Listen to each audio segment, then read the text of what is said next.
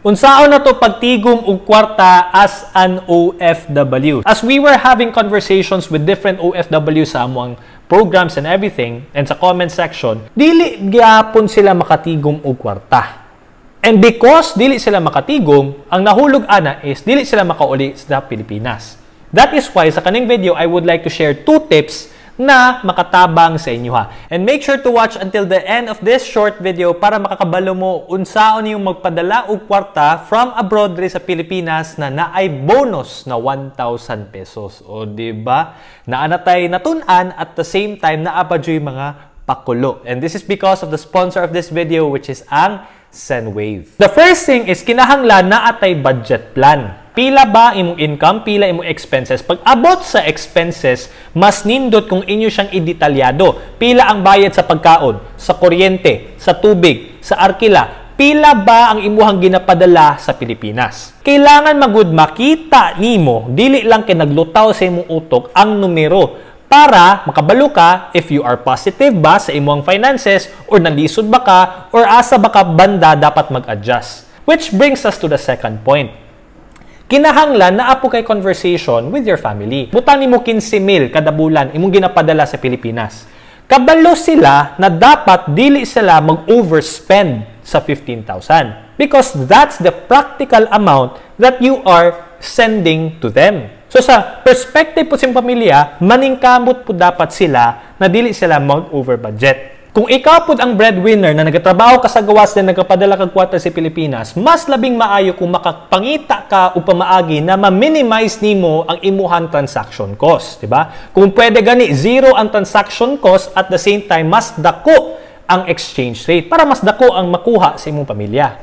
You see? And that is ang ginahimo sa Sendwave. So atong kailangan himuon lang is to download the app on your phone mo ni siya nakita nato no sa atong screen dire and then i-fill out lang niyo siya at sama sa inyong full name, email and make sure na i-send niyo ang kwarta sa Pilipinas because we're talking about OFW padulong sa Pilipinas. I-verify lang nato ang mobile number na i-mag-send sa imong OTP, then you encode it and you will be verified. This is how the dashboard looks like. Oh, di ba? Nindot. I-click ninyo ang recipient. Add a new recipient. No? Okay, bago man siya. I-click ninyo ang payment method, then naa siya option, GCash, bank account, or cash pickup. For the sake of this illustration, gamito na to ang GCash. I-enter na to ang GCash details sa katong makadawat, no, imong padalhan na kwarta sa Pilipinas. I-set na to ang amount na gusto niyo ipadala. I-enter na to karon ang debit card info. Of course, gitabunan na mo siya no kay confidential man siya. Then i-enter na to ang legal name and date of birth nato.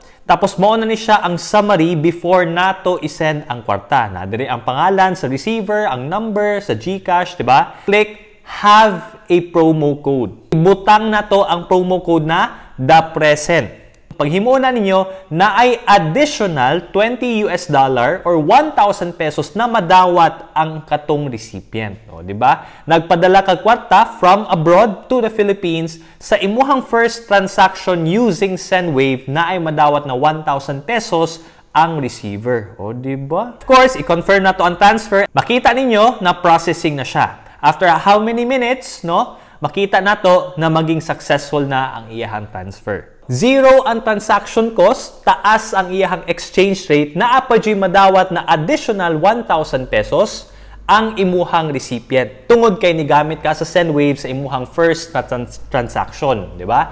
You're sending the money from abroad to the Philippines. And of course, dili gyapon mawala ang ato ang question of the day. Para sa imuha, unsa ang mga tips na mahatag nimo na makatigom ang mga OFW?